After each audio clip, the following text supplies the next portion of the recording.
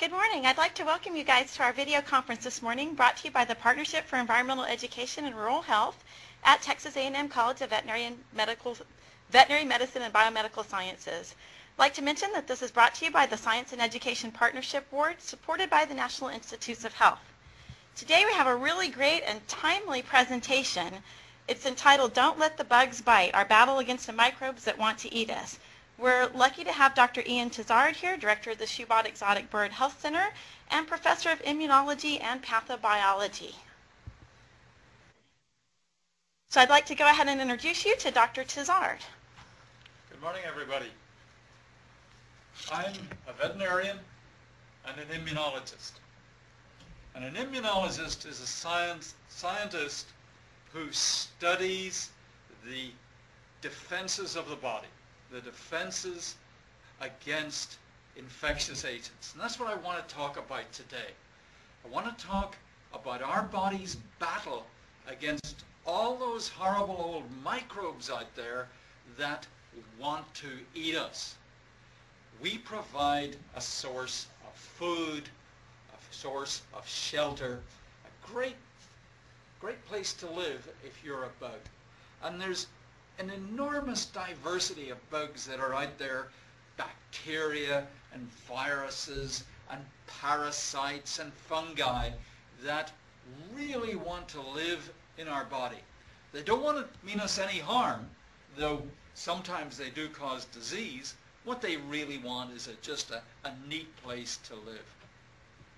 So, our bodies are good to eat. Just and, and these bugs attack us just the same way that a lion or a tiger or a bear would like to attack us as well. We're simply, simply a source of food. So, um, so, so, if we're going to stay healthy, if, if we're going to be able to function, be able to act as uh, normally, uh, we have to uh, we have to keep those invaders out. We, you and me, all humans, all animals, are constantly fighting a battle to keep the invaders out. A battle that begins the day we're born, it works 24-7, and it lasts until the day we die. Because if we don't keep them out, if the bugs get in, then we're going to get sick, and if the bugs really win, we're going to die from infectious disease. So how do we keep these bugs out? What's, what's the principle? Well, think army. I want you to think of, of a military analogy. How do you defend a site? How do you defend a situation? But clearly the easiest way to think about it is that we have multiple barriers, many different ways of keeping the invaders out. Uh, first of all, we maybe have fences and things like that, what you might think of as physical barriers, and then once, if anything gets through those physical barriers, we need some sort of hardwired defenses that are going to attack and kill the invaders. That's what we call innate immunity. But finally, just to make sure that the invaders are kept out at all times, we need a very automatic defense mechanism, a mechanism that's going to keep all the invaders out pretty much all the time. And we call that adaptive immunity. So we're going to work through each of these layers of defense, going from the physical barriers to adaptive immunity, and we'll end up talking about how we can manipulate these systems to make us even more resistant to disease. Specifically, we're going to talk a bit about vaccines and vaccination because we can play with these defense systems in such a way that we're going to be defended and we can defend ourselves against some really nasty microorganisms that want to get in and really do want to cause a lot of damage. You can think of these defenses as occurring in, in layers. Uh, physical barriers come first and then the innate defenses and then the adaptive defenses but they also occur in time as well. We need something that keeps the bugs out immediately, right? We, we want a, something that responds at once if, if the flu virus gets into your body or a bacterium gets into your body, we don't want to hang around and wait for, for days or weeks just before we can get rid of it. We want to get rid of it very promptly. So each of those three layers of defense actually works in order. The physical barriers basically keep most bugs out. Innate immunity is a rapid response. And then adaptive immunity is a slower developing response. Let's talk for a moment about the physical barriers. Um, obviously, again, if we think army, if we think of a military situation, barbed wire fences, walls, castle walls, are all examples of physical barriers. And, and they're very good at keeping a lot of invaders out, especially invaders that aren't terribly enthusiastic, invaders that, that uh, are not very, very aggressive. Um, and in terms of our bodies, we can think of, uh, of, our skin. Um, skin's tough, very tough. It heals up, right? If we have a cut in our skin, it heals. It keeps the microbes out. It's full of chemicals that kill microbes. But that's not to say that it's sterile. Our skin is actually covered in microbes, right? Different parts of our body have different microbes. That's why the person sitting next to you smells a little bit because of the microbes in their skin. But collectively, that skin barrier with its microbes and its antibacterial molecules is a very effective way of keeping invaders out. The only way really most invaders can get through your skin is either when you have a cut and the cut becomes infected, or perhaps a mosquito injects a microbes through your skin. But otherwise, skin's a really great, very effective barrier to microbial invasion. The skin, of course, is only one of our barriers, right? It's a very obvious barrier on the outside. But remember that we also have an intestine in our body with a large surface area. It too is full of bacteria. Um, and we defend ourselves against invaders through the intestine as well. Um, simple things like vomiting is a way of getting rid of bad things. If you eat something bad, you might throw up. That's an example of a physical barrier. Or if the organism gets further down into your tummy, then you might get diarrhea, which is another way that your body uses to get rid of invaders. And in addition, the walls of our intestines are full of lots of chemicals and compounds that keep keep the microbes out. The respiratory tract, where you breathe through, is, is a lot more difficult. And the reason for that is, of course, you need to let oxygen get in. Um, we have a number of mechanisms there, those simple mechanisms like coughing. Coughing is a defense mechanism. When you cough, you're blasting out the bad things that get into your airways. Likewise, when you sneeze, Again, it's a defense mechanism. You're blasting out the bad things that get up your nose. Of course, you can always use your fingers as well. Um, likewise, the walls of your airways are, are covered in sticky mucus that works like a flypaper and captures bacteria that get gets into uh, into your lungs. And again, there's lots of chemicals there. So physical barriers are, in fact, a very effective way of keeping most microbes out. The trouble is they're not completely effective. After all, if you've got a big fence and you don't have any guards, someone can climb over the fence. Given enough time and effort, they can get in. So physical barriers are by themselves not sufficient to keep the microbes out. What we need are defenders as well. What we need are is a system of stopping anything that gets through the physical barriers. And the probably the, the neatest example I can think of is the, the attack on a castle. I'm sure you've all seen those old Robin Hood movies where the outlaws come out and try and climb the walls and there's a big battle on the, on the battlements and either the good guys win or lose, whatever. And that's a very good analogy for inflammation. In the case of inflammation, the microbes get into your body. Maybe they get in through a cut, or maybe they get in through, uh, through eating something that, that's inappropriate. Your body has to respond. It has to respond quickly. You don't want the microbes to establish a foothold. So the defenders, the, the defenders in the body come rushing to attack the microbes. What are these defenders? These defenders are specialized cells. They're the white cells that you find in the blood. Here's a, here's a blood sample, uh, or this direction. Here's a blood sample. Uh, this came from Jumper the goat, who, uh, who will be acknowledged in the, uh, in the uh, credits to this movie. Um, this is a blood sample from a goat. You can see the red blood cells that are important for carrying oxygen. And this white area, much of this are the white cells. These white cells, they circulate in the blood, and as long as you're healthy, they just hang around there. They don't do very much, just waiting for things to happen. But if you get attacked, if the microbes get into your body, then those white cells come rushing into the tissues. And they try to kill, eat, and destroy the invaders, just like the fight on the castle walls. It can be messy, it can be destructive, but as long as it happens quickly, many, many microbes can be killed.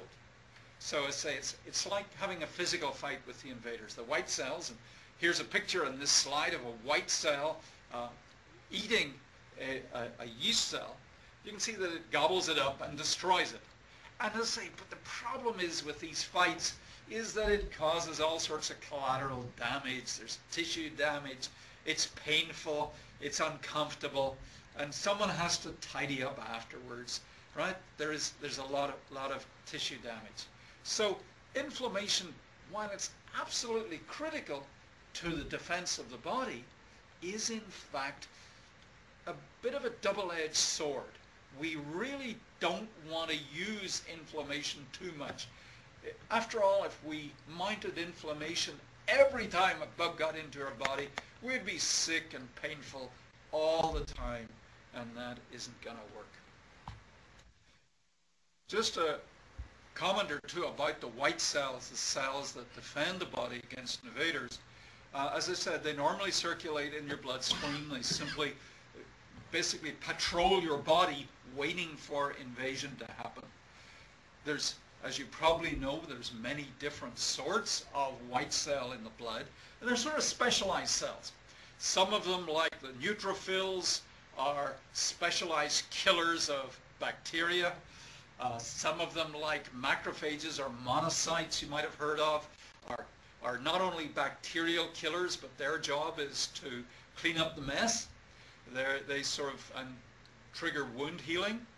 And then there's cells called lymphocytes that are specialized in getting rid of viruses.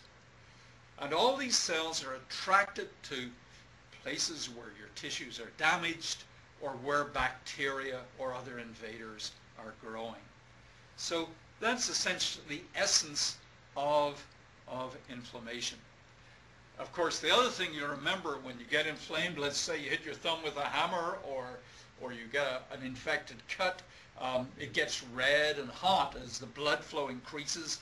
And that's the blood flow bringing the defenders, bringing the cells and some protective uh, chemicals to the tissues that are under attack. Um, you get maybe the organ might swell a little bit. You hit your thumb with a hammer and it might get red and swollen as, as fluid gets into the uh, site of inflammation.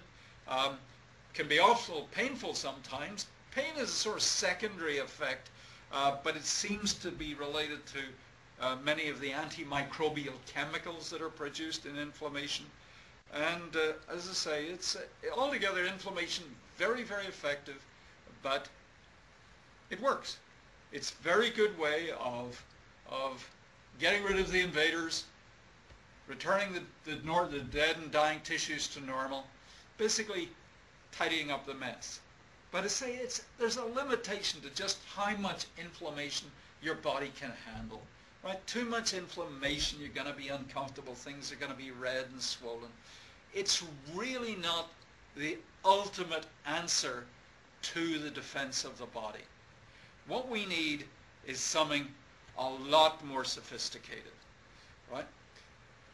One reason we need things that are a lot more sophisticated is the microbes fight back. This really is a war, and these are really battles, right? Our body is fighting to defend us against invaders, but the microbes want to get in. They desperately want to get in, so they can kill the white cells, the leukocytes. They can hide in dead tissues. They can hide inside cells. Microbes have many different tricks under their, uh, up their sleeve to get into the body and take over. So it really is a war. Disease and sickness reflect a battle in your body going on between the invading microbes and the defenses of the body. We need something in the long run. If we're going to live long, happy, healthy lives, we need something that's going to be much more effective than that. Something that's automatic, something that doesn't cause pain, something that isn't uncomfortable. And we need, we need an automatic, non-damaging, painless, effective, smart immune system. And we call this the adaptive immune system. The adaptive immune system is much more powerful than, than physical barriers, much more powerful than innate immunity, and much more effective in defending the body against invaders. It's essentially an automatic smart system that, that will keep the invaders out. Let me introduce a word here, a useful little word called antigen. We use the word antigen in immunology to describe anything that triggers an adaptive immune response.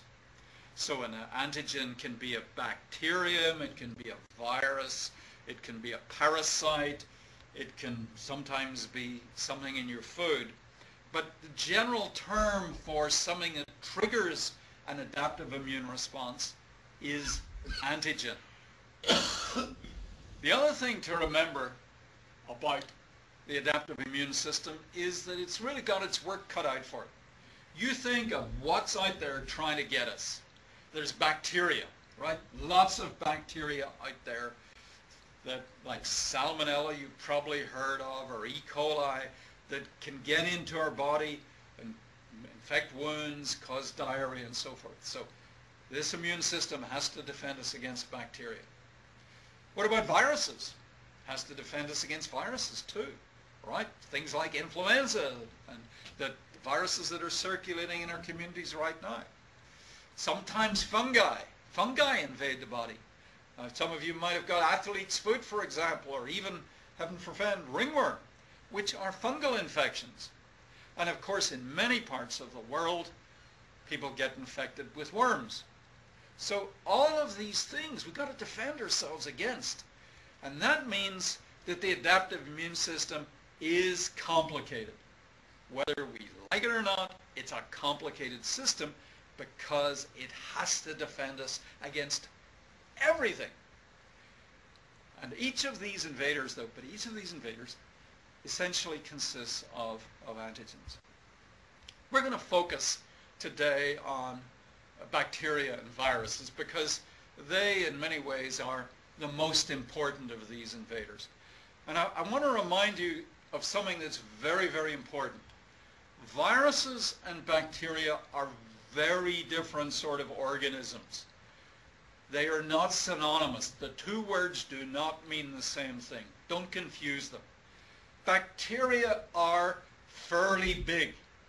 The blue rectangle in this slide shows you the relative size of a bacterium and the little red dot, is this, uh, the little red dot shows you the relative size of a virus. Now, if you look down a microscope, looking, you can see bacteria. They're pretty small, but you can see them on a light microscope. But the virus is just too small to see. And that's why you actually need specialized electron microscopes. Viruses are much, much smaller than bacteria. Viruses also tend to live inside cells. Well, they have to live inside cells. Bacteria can live outside cells. And for example, when you go to the doctor, bacteria are killed by antibiotics, whereas viruses aren't. So bear that in mind when we, when we look at how the immune response handles, handles uh, bacteria. Basically, we, we essentially have two main branches for adaptive immunity. One deals with bacteria, one deals with viruses. So if bacteria get into your body, uh, the immune system, they can be killed with, uh, with white cells, like uh, as in inflammation. Uh, white cells can come and simply gobble them up and kill them. Um, there are mechanisms in the body for actually punching holes in bacteria. There's stuff called complement that punches holes in bacteria. Um, sometimes some bacteria hide inside cells and there have to be mechanisms for, uh, for killing those intracellular bacteria. Um, what about toxins? Some, some bacteria produce poisons. They've all got to be neutralized. And how does the body handle all these things? Well, it uses proteins called antibodies. Okay, here's, here's a diagram of, uh, of an antibody. Uh, but you can think of it as, uh, as a Y-shaped molecule, or, or look at me. Uh, can you switch me? Okay, here I'm, I'm acting like an antibody, and my hands grab onto the antigens. My hands grab any invaders that come in. My, my feet attach, either attach to white cells or to other molecules that can kill the bacteria. So in effect, antibodies grab invaders and then force their destruction. And antibodies are especially good against bacteria. So that's one branch of the immune system. But what about viruses? Well, the problem with viruses is they live inside cells. And inside cells, antibodies don't go inside cells. So viruses have to, have to be killed in a completely different way. And the way the body handles that is it literally kills any virus-infected cells. So a virus gets into your body, it gets inside your cells, the virus-infected cell is then destroyed by your immune system by a process we call cell-mediated immunity. It's the second big branch of adaptive immunity. Now, this is a pretty drastic solution, you'll agree. After all, killing virus-infected cells does cause damage. But it's really the only, well, it's basically the way the body does it. So, so getting rid of viruses is a much more difficult job, really, than getting rid of bacteria. The other reason it's difficult to get rid of viruses compared to bacteria is that bacteria, of course, can go and live outside the body. They're on the seat you're sitting on, they're on the walls behind you, they're on the carpet. Bacteria can live in a lot of places. Viruses have got to live in your body. If they don't get into your body, then they're not going to survive. And that's, uh, that's a bit of a problem for them.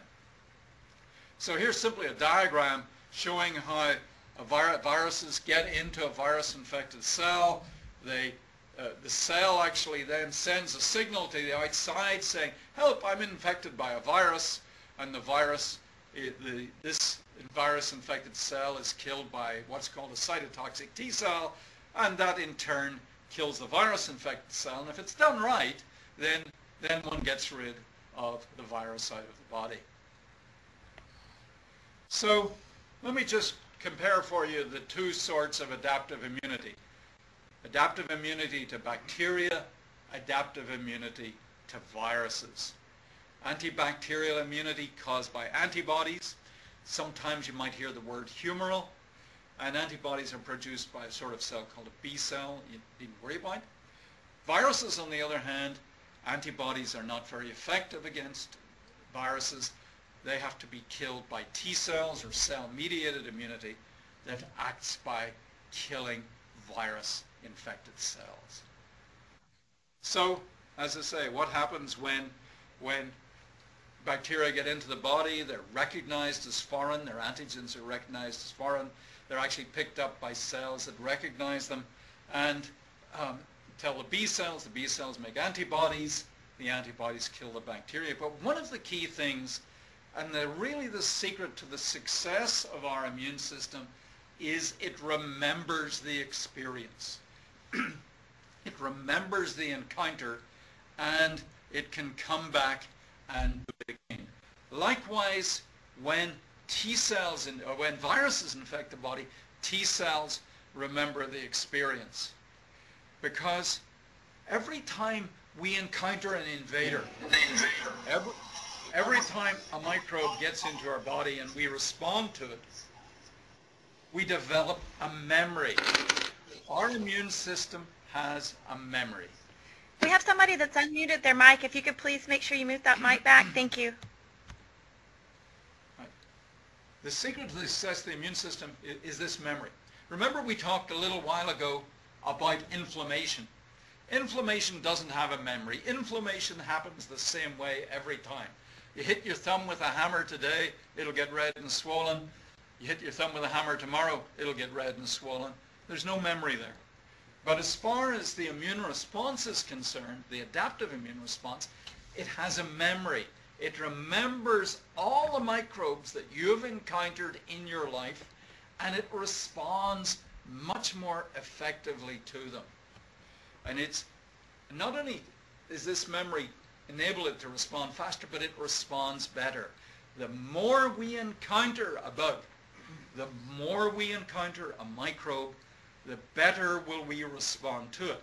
And that's the basis. That's why we use the process of vaccination. We can actually accelerate the immune system. We can enhance immunity by vaccinating uh, an individual. This little graph sort of depicts what happens when you get a vaccine, right? you go to the doctor, the nurse gives you an she injects the vaccine, or in this case an antigen, and you make an immune response. It's not a very good immune response usually the first time. You have to, a single shot for many vaccines helps a little bit, but is not perfect you got to go back to the doctor about a month later, a couple of weeks later, and you're going to get a second shot. You're going to get a booster shot. And your body recognizes the antigens in that vaccine and makes a really great immune response. That's why for many vaccines you need to go back to the doctor and have multiple injections. And the more you go back, the more effective is the vaccine going to be and the more immunity you're going to have. So vaccines are a way of really fooling the body into thinking it's been invaded, triggering an immune response, and causing and, and, and causing protection uh, to, to, to develop. Every time you encounter an invader, either naturally by a vaccine, you respond better and better. So as you get older, you get a better immune response. That's also why little kids, little kids have runny, snotty noses because their immune system isn't terribly strong. But as you get older, your immune system gets better and better. So a vaccine is simply a preparation containing the antigens from a bacterium or a virus that we can use to trigger an immune response. And we can do it in our own good time, and we can do it before the invader gets in. In effect, what we're doing is we're mimicking a natural infection. We're fooling the immune response. We're telling the body, hey, you're under attack. It mounts an immune response, and you enhance it by uh, booster shots. And of course, it works very well as long as we keep the process safe and effective, right? That's the key to vaccination. It's got to be safe. There's no point in giving a vaccine to somebody if it's going to make them deadly sick or anything like that. Let's, uh, one way, one simple rule, or at least one way of looking at vaccines is we have a choice of different ways we can make vaccines. Some vaccines, as say, are living viruses. Some, some are, are dead.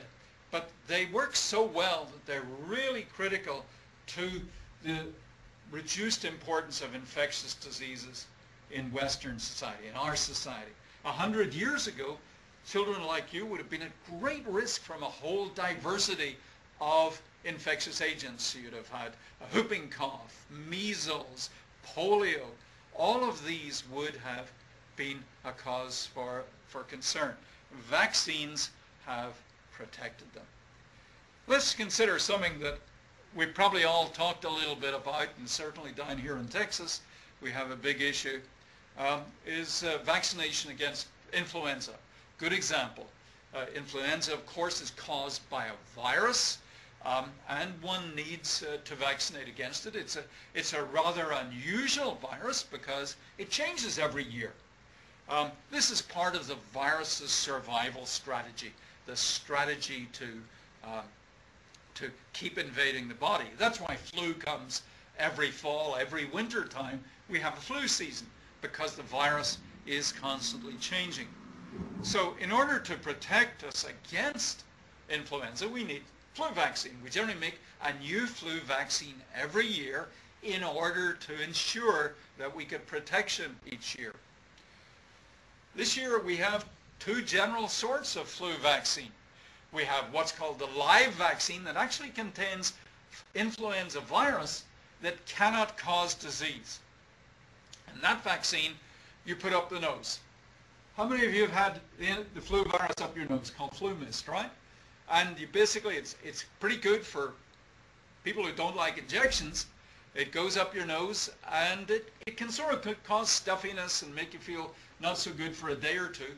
But essentially it's a great way of getting the antigen into the body, getting the vaccine into the body, and triggering a powerful immune response.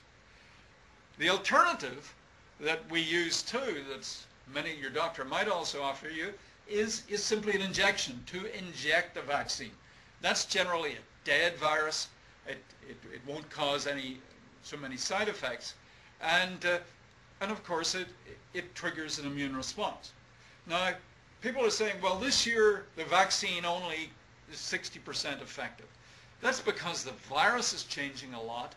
But bear in mind that vaccines not only can prevent disease, which of course is what we really would like them to do, but even if they don't prevent disease, they can make it milder.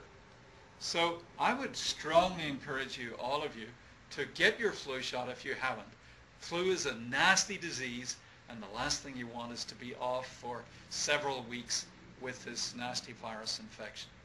But flu is just one example of a vaccine, a way of adapting to the immune response and using it to our own purposes to bring infectious diseases under control.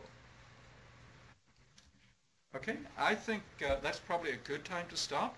Okay. And uh, I'll be happy to answer questions uh, about this. I'm going to go ahead and um, a couple of the interactive sites have actually submitted their questions ahead of time. So I have a couple of questions here for, for you. The first set of questions is from Mr. Bodkin's class in Wellesley uh, Middle School. This is in Boston, Massachusetts. And one that goes, one of their questions that goes right along with what you were talking about is, um, why do you think the flu virus has spread so quickly there in Boston? And of course, we're also finding it spreading very quickly here in Texas. So why does the flu virus, why is it spread so quickly? Well, simply because the virus is different this year. Uh, as I indicated to you, flu influenza is a constantly changing virus. Um, it's one of these viruses that's trying to overcome the immune system. It needs to get into humans in order to survive. It needs, in fact, it needs to cause disease in order to survive. It needs to cause coughing and sneezing. And, uh, and this particular virus this year, after several years of fairly mild viruses, seems to be a much more aggressive strain and seems to be much more able to get into humans and be shed in, in larger amounts. It varies a lot from year to year, influenza, as as it undergoes what are in effect mutations. It mutates all the time. But this is what makes influenza a rather unusual disease from our point of view. Most diseases, you get them once and that's the end of it. But flu, remember, comes back every year. Okay, very good. Um, the second question they had was, how actually does that flu virus change from season to season? How does it change? Well, it's because it's got a very curious genetic makeup. Um, essentially, it, it's uh, when cells divide, any cells divide, basically the, the nucleic acid, the DNA, is copied, and it's generally copied very accurately so that there's no mistakes made. But influenza viruses, first of all, they use a different nucleic acid, but they also don't correct any mistakes. They have no procedure for fixing misprints, fixing spelling mistakes, fixing typographical errors, which means that as influenza grows in your body, the new viruses that are produced in many cases are a little bit different from the parent strain. And so given time, given six months, given a year, the virus may end up as being quite a different virus than you started with uh, six months previously. Okay. Um, I'm going to switch now to a couple of questions. Um, these are from Miss Mentor's class in Galveston ISD. It looks like it's middle school and high school students. And it says, are there more of these bugs or bacteria and viruses in some places than in others? Yes, hygiene's important. Um, bugs, of course, are spread between people. So if you're going to live by yourself in the middle of the desert, you're probably going to stay fairly healthy if you can feed yourself. Uh, likewise, in a crowded city situation, in a crowded classroom, obviously you're going to share bugs with your friends and neighbors. If somebody sneezes in the classroom, you're going to, to share more bugs. Uh, there's also, of course, the, the issue of hygiene. There are places that are dirty. Um, you know, floors, uh, places where there's a lot of people, washrooms, there's clearly a lot more bugs than, uh, and microbes than there are out in, in, in the outdoors, in the playground, and things like that. So clearly, the risk of getting infectious agents varies from, from, from place to place. Uh, and a lot of it, of course, also centers on hygiene and your behavior, right? Hand washing is critically important to minimize your chances of getting, getting infectious agents. So that kind of answers their next question about what they can do to keep the bad ones away. So besides vaccination, hygiene, hand washing, any other suggestions that you could add on Hy- that? hy- hygiene is by far, hygiene in general is by far the best way to keep infectious diseases away. And of course, that includes not just washing your hands, but for example, uh, we get many bugs from food, so you want to cook your food properly um, and, and, and things like that. You want to wash wash your food properly. Hygiene, in a general sense, is the is the is the best way to stop getting these bugs in the first place. Very good. We also have McKeesport in Pennsylvania. If you guys want to unmute your mics, do you have any questions that you would like to ask Dr. Tizard? Hi. Hello. Hello. I think their question is why, uh, even though you get a flu shot, you could still get the flu. And Okay, is it great a worse form or a better form? It's a better form, but it's a good question. Um, as I said, it, flu changes from year to year. And sometime last February, a committee got together to try and work out what was going to happen this winter.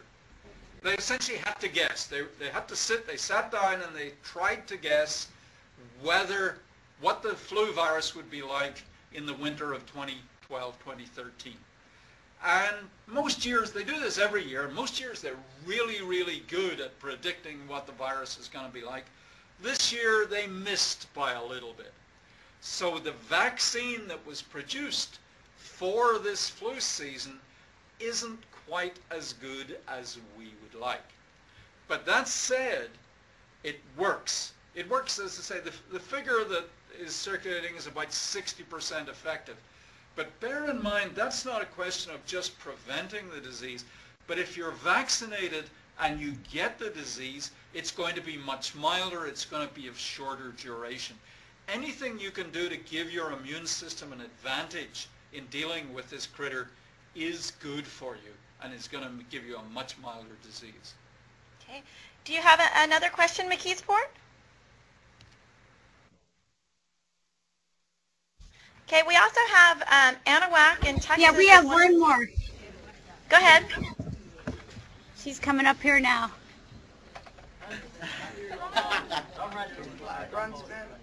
run, Savannah. Can you get the flu from your flu shot? Ah, great question. that is a really good question. Yes, is the answer. Um, remember I mentioned to you there's two different sorts of flu shots, there's live and dead. Well, don't worry about the dead. You can't get the flu if the virus is killed. But the, the intranasal virus, the so-called FluMist, contains live virus. Uh, it has to contain live virus because if we simply squirted dead virus up your nose, you'd simply sneeze it out again, and that wouldn't do you any good. So, so the intranasal flu virus contains living virus, and, and they, it's sort of set up in such a way as to grow a little bit in your nose and then trigger immunity. The trouble is that if your immune system isn't super strong in a few people, it can actually make you a little bit sick. Uh, my granddaughter actually got sick following her intranasal flu vaccine. She developed a fever for a couple of days as her body fought off this the vaccine. So yes, you can get mild influenza as a result of, leaving, of receiving the live vaccine. Okay, that's a great question. Now, do we have Anahuac, Texas with us as well on the uh, interactive? Are you guys out there? Okay, I do have a couple of other questions from uh, Mr. Bodkin's class that we might want to talk about. And one of them is, uh, Dr. Tizard, you're the head of the Schubot Bird Center. Why did you choose birds over other animals to study? Well, I, have worked on all sorts of animals in my career, and I only turned to, to birds relatively recently. Um, and I'm interested specifically in, in bird viruses and viruses that circulate in wild birds, and there's a lot of real, really interesting ones. A lot of it reflects the fact that, especially with exotic birds, we don't know a lot about their immune system. We don't know a lot about their diseases. Great question, and here's one that's real timely um, for people in Texas. My horse earlier this year got West Nile virus, and that comes from a bird, and people can also get this. And one of their question was how and which microorganisms are able to move from the birds to humans? Well, first of all, you have to, are we talking about wild birds? Are we talking about chickens in your food? Um, clearly, one of the major risks of food poisoning in this society is if you don't cook poultry properly. Um, organisms like their bacteria, salmonella, that, for example, that occurs in, uh, in chickens, and unless if you don't prepare it properly, if you don't wash your hands when you're handling it, you can certainly get diseases like that from, from, from improperly cooked poultry. When you get to wild birds, however, there's very few examples of, of diseases that can spread from wild birds to humans. Uh, there's a disease called parrot fever that sometimes can spread from parrots, but, the, but it's really very well controlled. And then West Nile virus, as, as our moderator pointed out, is carried by wild birds, but of course transmitted by mosquitoes. So, uh, so there are, there are a few, but not many. Think about how different uh, birds and humans are. I had one question. Well, what would you like to ask Dr. Johnson? Uh, how does natural selection involve in selecting out a, a bad type of, of uh, virus? Well, obviously sort of viruses vary in how severe they cause disease, uh, what sort of disease they cause, and how well they're spread. And obviously, some viruses, some horrible viruses, like, for example, you might have heard of Ebola in Africa, kills people so fast that, in fact, it really doesn't spread very effectively. SARS is another example of such a virus you think think about if you were designing an ideal virus, you'd want one. Well, flu is a very good example. One that would sort of spread between lots of people. It would spread very easily. Making people sick isn't really part of the virus's plan, right? It, it, the virus doesn't get any great any advantage of sickening you. So one gets a sort of selection pressure in that viruses that kill people very fast tend to be eliminated very quickly from the population. The viruses that survive and persist, and like influenza, come back year after year, are the viruses that maybe kill some people, but most people they simply make uncomfortable. And, but they, they persist in the population. Well, we've come to the end of our video conference today, and those were wonderful questions, I have to say. And we really appreciate Dr. Tizard visiting with us today, and uh, I'd like to give him a round of applause. Thank you. And I'd like to remind you that this video conference is brought to you by the Partnership for Environmental Education and Rural Health at Texas A&M University through the Science and Education Partnership Award at the National Institutes of Health. Thank you all, and remember that we will be posting a video, uh, a video recording of this conference and the associated PowerPoint on our website that you can get from your registration information. Thank you very much for joining us today.